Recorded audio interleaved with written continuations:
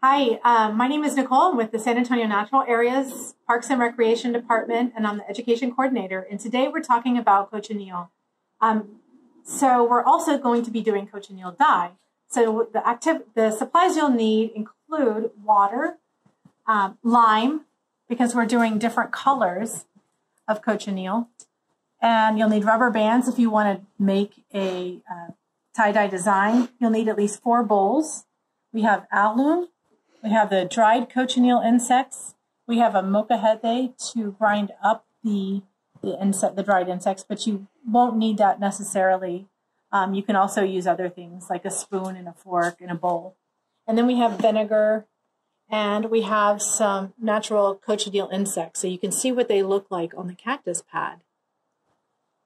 So before we start, I just want to talk a little bit about the cultural history of of cochineal. So cochineal has been used for thousands of years. It's native to the Americas, so it grows readily in, in Mexico all the way down to Peru.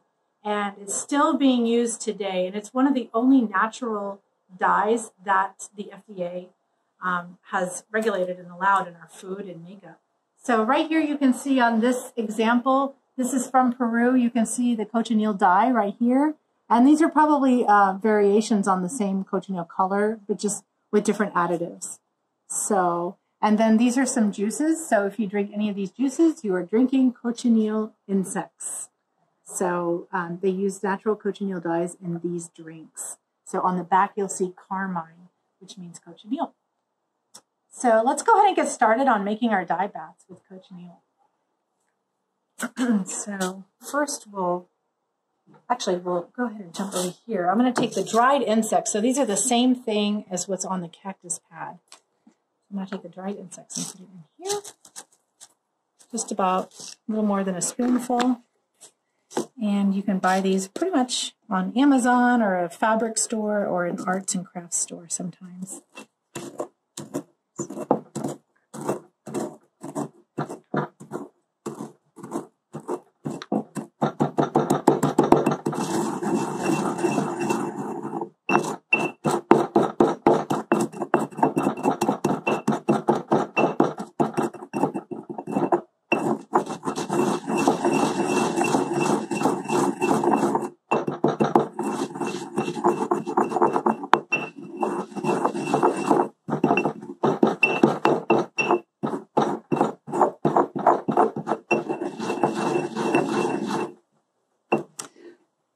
you really only need a small amount, a very small amount in each bowl. So that, that's enough for me. So, so I have the labels on here. So here we're just going to use cochineal and water. Here we'll use cochineal and we'll add vinegar and water. Here we'll add cochineal, water, and lime. And then this one, we'll do alum, so cochineal water and alum. And that will change the pH levels in the dye and will change the colors too. So I'll go ahead and add water to each of these.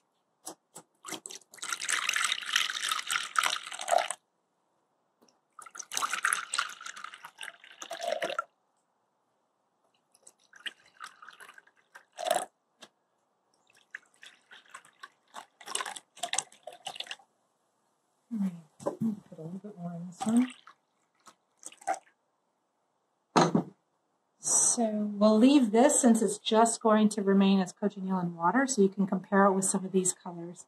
So here we're going to add vinegar. Just a little bit. I'm not measuring, um, but maybe a few tablespoons. And you can see how that changes it to orange. And then here we're going to do lime.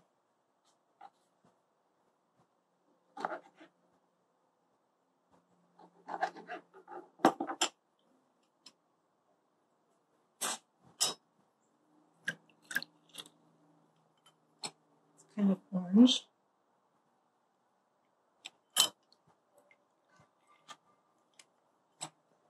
Add some more.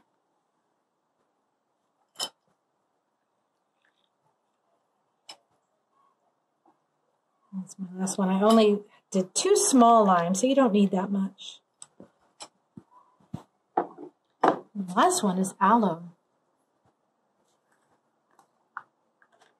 And I'm adding maybe just a about a teaspoonful.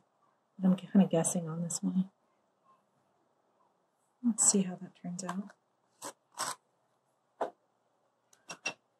So I'm going to kind of mix all of these up so you can see the colors.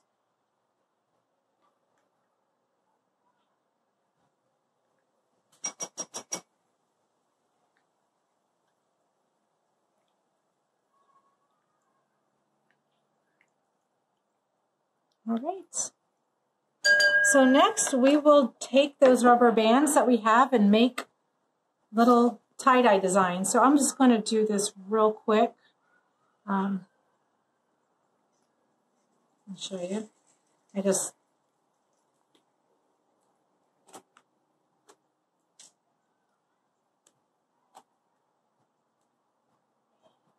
Oops. This one's getting these rubber bands are try this one.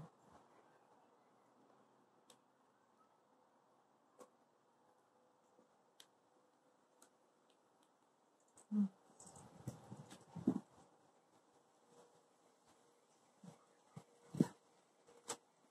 There, they have to be pretty tight.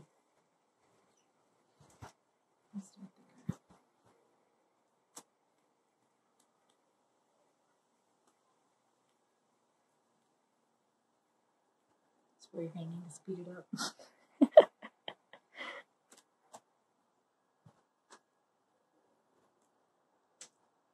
okay, one more on this one.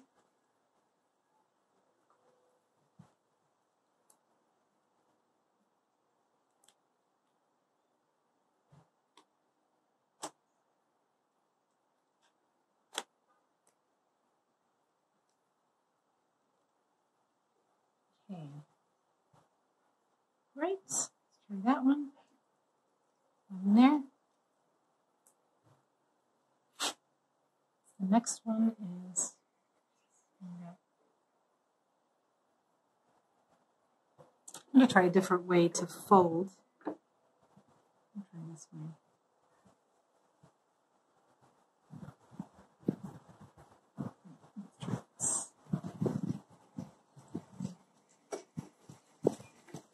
Well, actually, I think I'll just do a regular tie dye.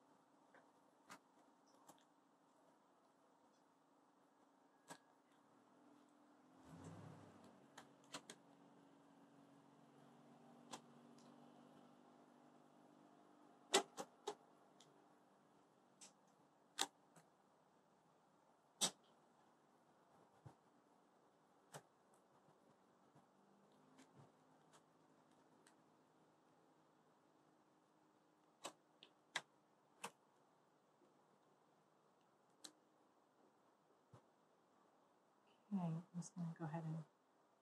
Hmm. These two colors are really similar. Yeah. a little bit different on this one because it's very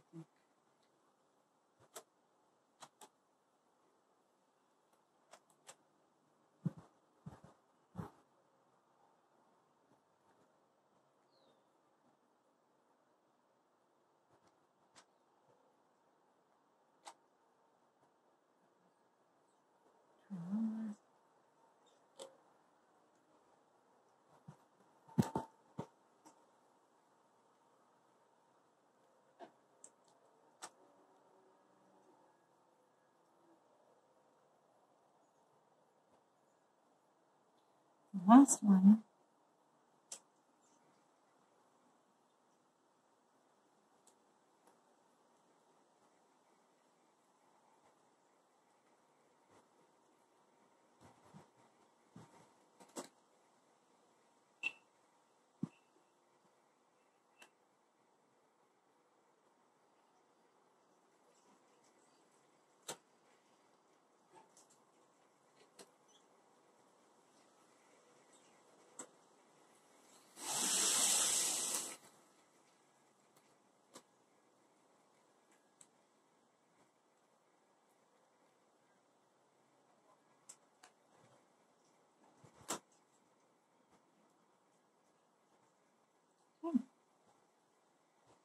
Right. So we'll let this soak for about an hour and then we'll come back and undo these and then we'll take a look at the tie-dye designs when we get back. All right, so here we are an hour later and now we're going to take a look at some of the tie-dye designs that we did with each uh, cochineal dye bath. So the first one is just regular cochineal and I'm just going to uh, cut off the rubber bands. As you can see, it's just cochineal in water. There's no um, no ingredient that binds the color to the fabrics.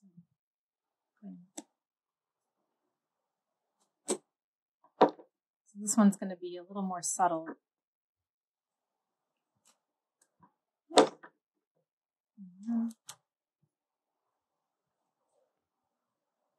Here's one tie-dye design.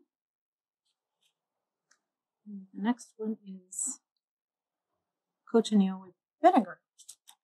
So this kind of gives it the orange color.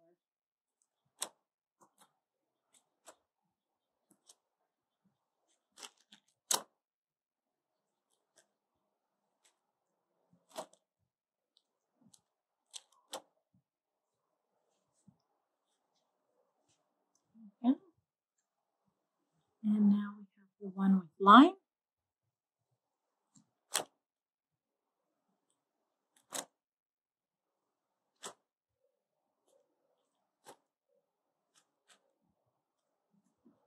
This one's a little bit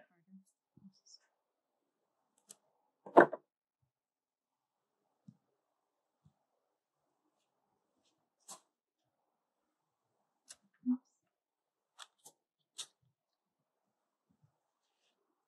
The last one is alum.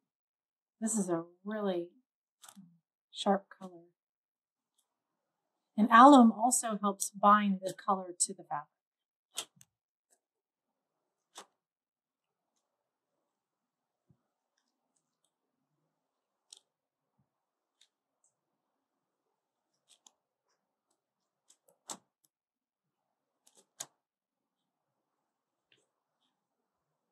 Yeah.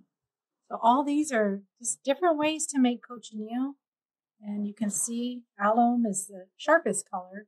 And then cochineal without, with just water, leaves the colors very light and subtle. So that's it.